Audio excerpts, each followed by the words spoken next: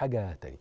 كام واحد فينا خبط في الحيط زي ما يتقال كده لبس في الحيط بسبب إعلانات وهمية. حاجات يطلب إنه مثلا يشتريها بناء على إعلان موجود على شاشة من الشاشات وبعد ما يدفع الفلوس بخ. آه، شاف إعلان على السوشيال ميديا بعت لهم الفلوس عشان يوصلوا له الحاجة بخ. حد تم آه، يعني العبث بطموحاته وبأحلامه عبر برضه إعلانات وهمية وبخ. من ضمن الحاجات ومن آخرها على سبيل المثال رصد وزارة السياحة والآثار لإعلانات وهمية بتعمل إيه بقى؟ شوف هنا بقى المصيبة الكبرى. التسويق هنا بقى ده مش بيتكلم على حلم ولا طموحات برجوازية ولا اشتري بضاعة لا ده أنا راجل عايز أروح أزور بيت ربنا. عايز أروح احج. فيتم استغلال ناس بتحلم بأداء الفريضة. يعني حلمها أداء الفريضة. ممكن يكون عاش عمره كله عمال يحوش عشان أداء هذه الفريضة واللي ربنا وصفها بمن استطاع إليها سبيلا. تيجي بقى شركات تقوم بالتسويق لرحلات حج مباشر. هي بتقال عليها الحج من غير القرعه للي عنده تأشيرة لزيارة المملكة العربية السعودية. فرق كبير ما بين تأشيرة المملكة إن أنت رايح المملكة العربية السعودية وما بين إن أنت عندك تأشيرة حج. يعني لو عندك التأشيرة بتاعت المملكة هتقدر تروح كل المملكة إلا مكة والمدينة. ما ينفعش. ممنوع. طب ولو عملت كده هتتعرض للعقوبة؟ طبعا. طبعا. على حسب ما بيقر قانون المملكة العربية السعودية في لستة من العقوبات على أي شكل من أشكال التهرب التسلل إلى آخره. فوزارة السياحة بتأكد بتقول يا جماعة دي إعلانات مضللة ده كذب. دي إعلانات وهمية لأنه تأشيرة الزيارة ملهاش علاقة خالص بأداء مناسك فريضه مناسك فريضة الحج.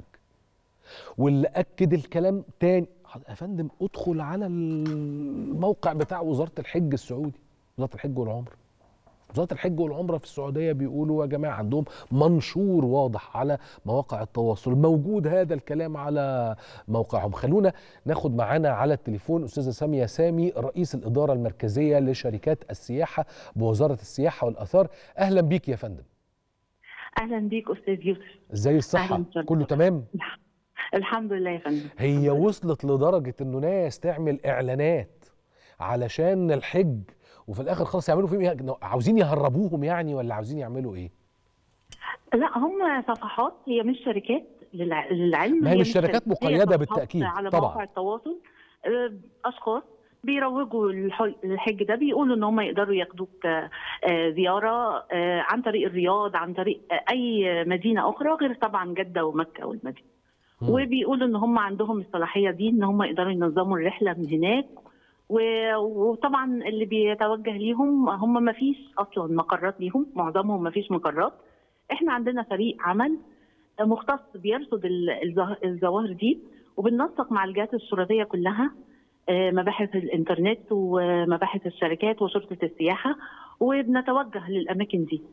آه، وبنصدر لها قرارات بنغلقها وبنحيل بعضها للنيابة العامة. فالناس عندها طرق كتيرة جدا لإنها تتواصل معانا بأكتر من طريقة علشان تتأكد هل الإعلان ده من شركة ولا من حاجة كيان وهمي.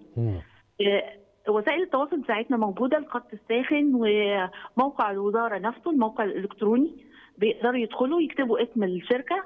لو ما ظهرتش يبقى الشركة دي وهمية يقدروا يتواصلوا معانا آه، غير إن إحنا طبعا الرصد اللي إحنا عاملينه. والناس لازم تبقى عارفة إن الحج في مصر بتنظمه الجهات الرسمية فقط. أي حاجة تانية هي حاجة وهمية وهيتعرض الحج للنصب وللأسف السعودية بتاخد إجراءات آه، قوية لأن هي فعلا السعودية بتبذل مجهودات رهيبة جدا في تنظيم الحج صحيح. والحج بيطلع بشكل منظم وعالي الترتيب جدا.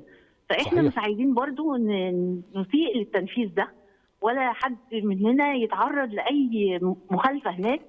فيبقى شكلنا إحنا كلنا مش مش أصل كويس هم أصل هي حاجتين الحقيقة ما أظنش إن ليها تالت. أول حاجة إنه إحنا بنتكلم على حد عاوز يعمل حج فهل ينفع أعمل تحايل في أداء الفريضة؟